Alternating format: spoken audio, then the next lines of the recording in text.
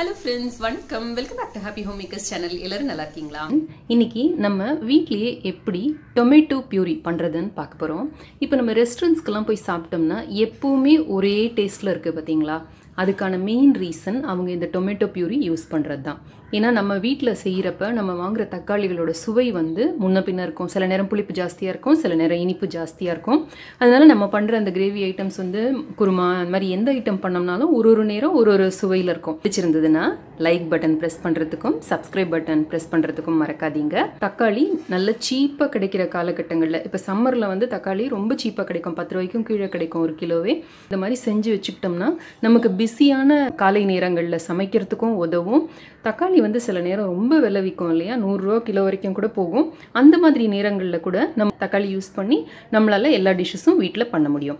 வாங்க இப்போ இதை எப்படி வீட்டிலே பண்ணுறதுன்னு பார்ப்போம் காம்பு பகுதியை நீக்கிட்டு இந்த இடத்துல ஒரு கிராஸ் மாதிரி கத்தியில் போட்டு வச்சுக்கோங்க எல்லாத்துக்கும். போட்டுட்டு தண்ணியை கொதிக்க வச்சு அதில் இந்த தக்காளிகளை போடுங்க. ஒரு ரெண்டு நிமிஷம் கொதித்த உடனே இதை எடுத்து உடனே சில்லுன்னு இருக்கிற தண்ணியில் போட்டுடுங்க. ஐஸ் தண்ணியாக இருக்கட்டும் இது. இப்போ சூடு கொஞ்சம் ஆறியிருக்க. இந்த பாருங்கள் எவ்வளோ ஈஸியாக தோல் உரிக்க வருதுன்னு. இந்த மாதிரி தோல் உரித்து இந்த தக்காளிகளை எடுத்து வச்சுக்கோங்க. அதுலேயும் தோல் உரித்து வச்சுருக்கேன். இந்த தக்காளி நல்ல கலராக இருந்ததுன்னா அப்படியே நம்ம யூஸ் பண்ணிக்கலாம். அப்படி ஒரு வேளை உங்களுக்கு நல்ல கலராக நல்ல டீப் ரெட் கலர் வேணும் அப்படின்னா ஒரு சின்ன பீஸ் பீட்ரூட் போட்டு அரைச்சோம்னா தக்காளிக்கு ஒரு நல்ல கலர் கிடைக்கும். நம்மளோட நம்ம இதில் பண்ணுற எல்லா டிஷ்ஷஸுமே நல்ல கலராக ரொம்ப அழகாக இருக்கும். ரொம்ப பீட்ரூட் போட்டாலும் பீட்ரூட்டோட டேஸ்ட் வந்துடும் ஸோ ஒரு சிறிய பீஸ் பீட்ரூட் இந்த அளவுக்கு போட்டால் போதுமானது. இப்போ இதை அரைச்சிட்டு வந்துடலாம். பீட்ரூட்டையும் இந்த தக்காளியையும் மட்டும் வெந்த தக்காளியையும் மட்டும் போட்டு நம்ம அரைச்சி எடுத்தால் போகிறோம் பாருங்கள் எவ்வளோ ஒரு அழகான கலர் கிடச்சிருக்குன்ட்டு. கண் இருக்கிற வடிகட்டியாக எடுத்துக்கோங்க. ரொம்ப சின்ன கண் இருக்கிற வடிகட்டி டீ வடிகட்டி மாதிரி எடுத்தோம்னா நமக்கு ரொம்ப வேஸ்ட் ஆகும் ரொம்ப நேரமும் ஆகும். இப்போது இதை நல்லா வடிகட்டி எடுத்தாச்சு. விதைகள் வரைக்கும் வடிகட்டி எடுத்தாச்சு. பார்த்தீங்கன்னா நல்ல கலர் அழகாக இருக்குது பாருங்கள் இப்போ நம்ம அரைச்சி வச்சுருக்கிற இந்த விழுதை எடுத்து ஒரு பேனில் போட்டு ஹீட் பண்ண ஆரம்பிக்கலாம்.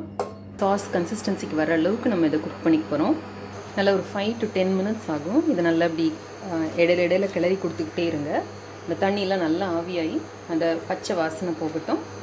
ஆறு நிமிஷம் இருக்குது டோட்டலாக இந்த பாருங்கள் நல்லா திக்காகிடுச்சு இப்போ ஆஃப் பண்ணிடலாம். இதில் ஒரே ஒரு டீஸ்பூன் வினிகர் ஆட் பண்ணிக்கலாம். இந்த வினிகர் வந்து நல்ல கலரும் கொடுக்கும். இந்த டொமேட்டோ பியூரி வந்து கெட்டு போகாமல் இருக்கிறதுக்கும் உதவும்.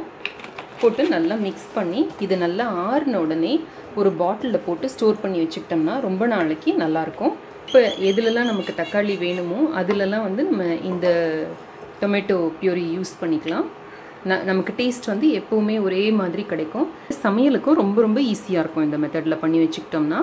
இப்போ இதை ஆறட்டும் நம்ம பாட்டிலில் போட்டு வச்சுக்கலாம்.